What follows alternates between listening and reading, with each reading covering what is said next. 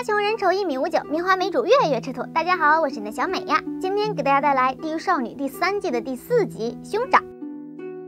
故事开始，这个四月份的学生大雄正在被校园团伙威胁要钱，他拿不出来就被打了一顿。在学校的医务室里，美女医生说要帮他告老师，但是却被大雄拒绝了。他说不想给别人添麻烦，要是告老师的话，他就再也不来学校了。但是他一味的隐忍换来的却是变本加厉的欺负。寒冷的冬天，那些之前欺负过他的人把他扒光了，绑在树上，用雪球砸。他们越玩越过分，最后还把石头放进了雪球里。就在雪球就要砸到大熊的脸上的时候，一道人影飞快地冲过来，挡在了大熊面前，把雪球打了回去。他伸手解开了绑在大熊手上的绳子，大熊有些害羞地红了脸。两个人开始自我介绍。那个男生说他是大三法学部的学生，名叫阿强，喜欢剑道。阿强想要让他一起学习剑道，但是大熊拒绝了。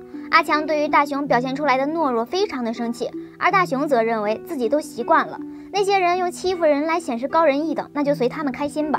在某一天，大雄去看阿强的剑道比赛，阿强轻轻松松的就拿了个第一名。但是他认为自己还是有不足的地方。大雄一听自己仰慕的男神说自己还不够优秀，当即就反驳了：“我感觉你已经够优秀了呀，头脑聪明，身体健壮，长得也好看。”阿强照了照镜子说：“还是你长得可爱啊。”这一通交谈下来，好像说的大熊越来越不好意思了。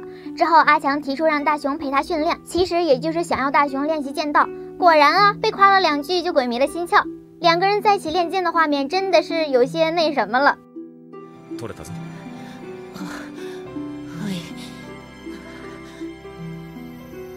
おかわり。変わったな。 大雄回家之后，家里人也发现他变得不一样了。大雄一提起那位教他剑道的大哥哥，话匣子就收不住了。在学校的大雄也是越来越自信了。总之，学了剑道的大雄是比以前越来越有魅力了。这一天，大雄和阿强在公交车上，阿强在准备考试的内容，大雄一直给阿强加油鼓气。忽然，车上的一个长发男被人摁住了头。长发男回头正要骂，发现他身后正站了一个身穿基佬紫、脖戴大金链的男人。这个大金链子缓缓地从怀中掏出来一把刀，然后开始给他理发。啊，怕不是托尼老师最近业绩不够？大雄本想站起来制止，但是却看到身旁的阿强一直在瑟瑟发抖流汗。那个穿着基佬紫的男子在下一站就下车了，并且还带走了那个刚刚他给剃过头的男人。车正在正常的行驶着，司机和车上的人全都是一脸冷漠。下了车之后，大雄和阿强走在回家的路上。大雄对阿强说：“不要在意那件事了。”但是阿强却解释道：“那你是看不起我了吗？我没有管这件事，是因为当时你在我身边，我怕连累你。”大雄的眼睛从震惊逐渐变得有些失望。夜里，大雄召唤了严母爱，小爱给了他一个稻草人，告诉他只要解开红线，所怨恨之人就会坠入地狱，而害人终害己，你死后的灵魂也将坠入地狱。大雄站在河边喃喃自语：“我知道那不是他一个人的错呀，该下地狱的也不止他自己。但是别人和我又有什么关系呢？”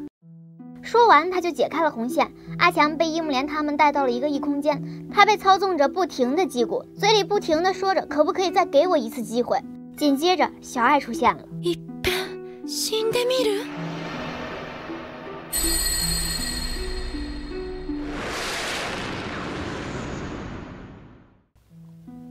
渡河上，阿强问小爱：“公交车上的人都有罪，为什么偏偏自己下地狱？”小爱没有回答他，只是将他送往了地狱。回到学校的大雄再也没有学习剑道，也依旧受着那些人的欺负。但是这是他自己的选择，谁也阻止不了。故事结束。这个故事肯定有人会为阿强打抱不平，因为这不是他自己的错。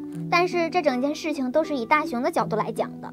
本来大雄下车之后已经和阿强说不要在意了，应该是阿强为自己的懦弱强行解释，而让大雄失望了吧。是阿强把大雄从校园欺凌中解救出来，教他剑道，让他变得阳光自信。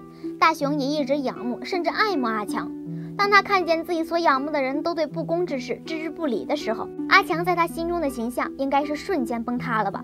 所以，他要把这个带给他希望又让他失望的人送入地狱。最后的时候，医务室里的医生问他，为什么刚刚有些转变就停下来了呢？大雄却说，就算他变了，社会也是一成不变的。他对这个社会极其失望。当初他以为阿强是这个一成不变的社会里的光，但是很遗憾，他并不是。好啦，今天的地狱少女就到这里啦，我是你的小美呀。喜欢小美的点播关注不迷路，我会努力曝光更新哦，爱你们哟。